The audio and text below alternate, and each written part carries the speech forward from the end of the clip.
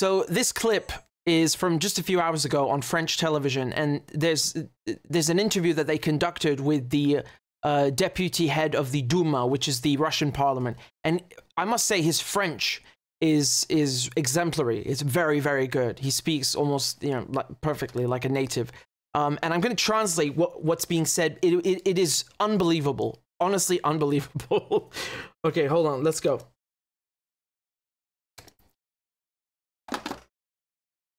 On s'en fout de son opinion. Vous vous On foutez de s'en ce que dit fout. Emmanuel Macron On s'en fout de son opinion. We do not care about his opinion. He's talking about Macron. Vous vous foutez de ce que dit. Emmanuel Macron Exact. And then the journalist says, you, do, you don't care. You don't give a crap about what Emmanuel Macron is saying. And he says, yes, exactly. Exactement. Et quand il vous dit qu'il est prêt, éventuellement, à ne pas se fixer de limite. On s'en fout de ses And then when he says, the journalist asks him, and when Emmanuel Macron, the French president, says that he is ready to, you know, basically, um, you know, he, about the war in Ukraine, to to just get rid of all uh, uh, all kinds of limits or or caps, and just go all out. You know, basically, it's a threat.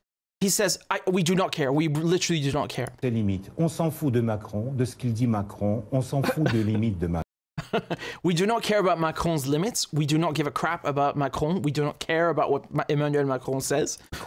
Et on va La tuer. France reste une puissance nucléaire. Vous And then he says, the journalist says, but France is a nuclear power. l'avez en tête. Tout à fait, avec 200 missiles. And then he says, yeah, with about 200 missiles. Remember that the Russians, I think, have the uh, uh, largest number of nuclear missiles. They certainly have the best um, in the world. Euh, et donc, on va, on va tuer tous les soldats français qui vont venir au sol ukrainien. We will kill every French soldier that comes uh, to Ukraine. That's what he said. Tous. Every Parce single one. qu'aujourd'hui, il y en a, durant le conflit en Ukraine, Because right now, in, the, in this Ukraine war, 13 000 mercenaires, there are 13,000 mercenaries, dont 367 uh, of which 367 Français are, are French, 367 are French citizens, et dont 147 ont déjà tué. and of which 147 have already been killed. Donc il y en a 147 citoyens de la France qui ont été tués en Ukraine. So there are 147 French citizens who have been killed in Russia, uh, in, in Ukraine. En opinion, et tout le monde, peut-être, ont déjà tué. Donc il y en a 147 citoyens de la France qui ont été tués en Ukraine. Et on va tuer tout le monde. And we're going to kill everybody. Vous inquiétez pas. Do not worry. Ouais. Make no mistake. Bah, Il menace de tuer tout le monde et il donne donc aussi euh, des chiffres bah, inédits hein, qu'on n'avait pas. Il affirme qu'il y a 13 that, that journalist was like, he, he couldn't say a thing. Even these two, they don't know what to say. They're just like, yeah, they're talking about the figures basically that he 000 cited. mercenaires. Parmi ces mercenaires, 367 Français et 147 d'entre ces Français qui auraient été tués. Voilà, Patrick Sauce sera avec nous. I mean, I love him. I love him. Uh, premièrement, vraiment, son français est excellent. He, he really speaks French very well.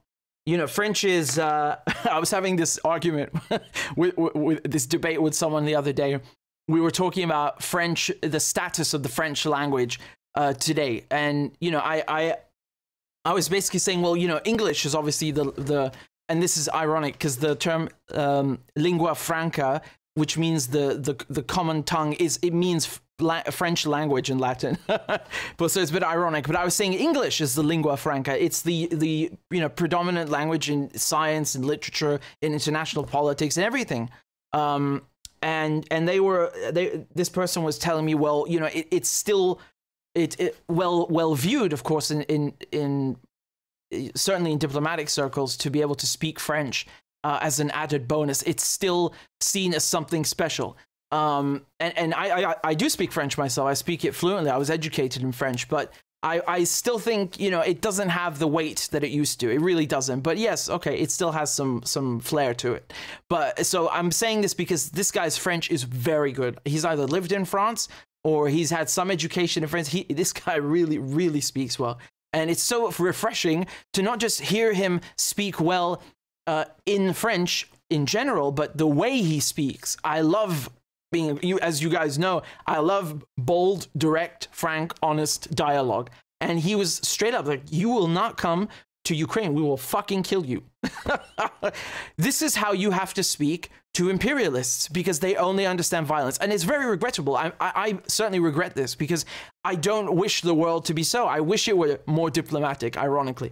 But, um, you know, they, they really don't understand. The imperialists, the Zionists, the invaders, the thieves, the, the, the criminals who cross oceans, uh, skies, and seas in order to seize the assets of others.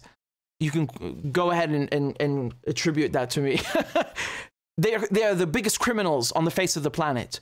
And unfortunately, diplomacy doesn't work with them. It's very, very sad because a lot of lives could be saved that way. The Ukraine war could have been avoided. The, the entire Palestinian conflict could have been already resolved. I mean, the Palestinians just giving half their land away was scandalous, uh, honestly. And it still wasn't good enough. It's never good enough for them because they're thieves. That's what imperialists do. And this is how you talk to them.